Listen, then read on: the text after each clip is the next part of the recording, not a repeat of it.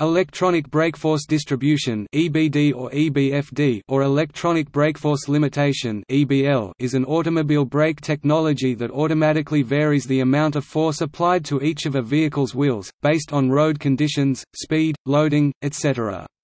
Always coupled with anti-lock braking systems (ABS), EBD can apply more or less braking pressure to each wheel in order to maximize stopping power whilst maintaining vehicular control.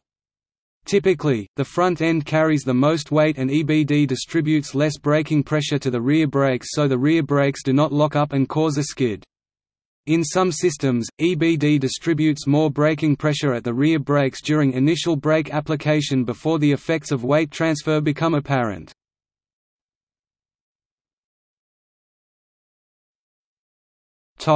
ABS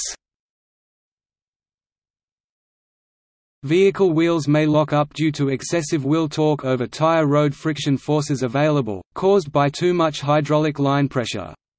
The ABS monitors wheel speeds and releases pressure on individual wheel brake lines, rapidly pulsing individual brakes to prevent lockup. During heavy braking, preventing wheel lockup helps the driver maintain steering control. Four-channel ABS systems have an individual brake line for each of the four wheels, enabling different braking pressure on different road surfaces. Three-channel systems are equipped with a sensor for each wheel, but control the rear brakes as a single unit. For example, less braking pressure is needed to lock a wheel on ice than a wheel which is on bare asphalt. If the left wheels are on asphalt and the right wheels are on ice, during an emergency stop, ABS detects the right wheels about to lock and reduces braking force on the right front wheel.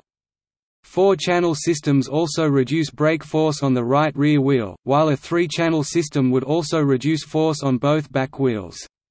Both systems help avoid lockup and loss of vehicle control.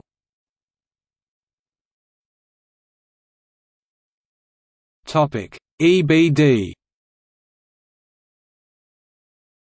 As per the technical paper published by Bushman et al. The job of the EBD as a subsystem of the ABS system is to control the effective adhesion utilization by the rear wheels. The pressure of the rear wheels are approximated to the ideal brake force distribution in a partial braking operation. To do so, the conventional brake design is modified in the direction of rear axle overbraking, and the components of the ABS are used. EBD reduces the strain on the hydraulic brake force proportioning valve in the vehicle. EBD optimizes the brake design with regard to, adhesion utilization, driving stability, wear, temperature stress, and pedal force. EBD may work in conjunction with ABS and electronic stability control (ESC) to minimize yaw accelerations during turns. ESC compares the steering wheel angle to vehicle turning rate using a yaw rate sensor. Yaw is the vehicle's rotation around its vertical center of gravity, turning left or right. If the yaw sensor detects more, less yaw than the steering wheel angle should create, the car is understeering or oversteering and ESC activates one of the front or rear brakes to rotate the car back onto its intended course. For example, if a car is making a left turn and begins to understeer the car plows forward to the outside of the turn ESC activates the left rear brake, which will help turn the car left. The sensors are so sensitive, and the actuation is so quick that the system may correct direction before the driver reacts. ABS helps prevent wheel lock-up and EBD helps apply appropriate brake force to make ESC work effectively and easily.